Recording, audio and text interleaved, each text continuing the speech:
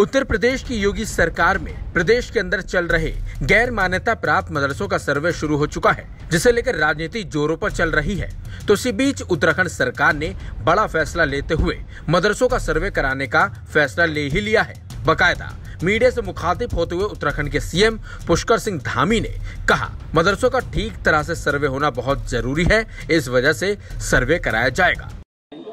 मदरसों के सर्वे के लिए भी वो कह रहे हैं जैसे यूपी में चल रहा है। हमारी कोई प्लानिंग है सर देखिए बहुत सारी जगह पर मदरसों को लेकर तमाम तरह की बातें आ रही हैं। इसलिए उसका एक बार सर्वे होना बहुत नितान्त ज़रूरी है जिससे कि सारी वस्तु स्थिति जो है स्पष्ट हो पाए। इस दौरान सीएम धामी ने ये भी कहा राज्य में मदरसों के चिन्हीकरण की ज़रूरत है। उत्तराखंड में मदरसों का सर्वे होना ज़रूरी है। मदरसों को लेकर तमाम तरह की बातें सामने आ रही हैं, इसलिए उनका एक बार सर्वे होना ज़रूरी है, जिससे सही जानकारी मिल सके। बताया जाता है, उत्तराखंड में करीब 103 मदरसे हैं। जिस तरह से उत्तर प्रदेश में मदरसा के सर्वे को लेकर विवाद हुआ है, माना जा रहा है कि उत्तराखंड में भी विपक्ष इस मामले को तूल देगा और सरकार के इस फैसले का विरोध भी ज़रूर करेगा। विज्ञानिस Uttar Pradesh, Uttarakhand. VK news Uttar Pradesh Uttarakhand. सच का सारथी।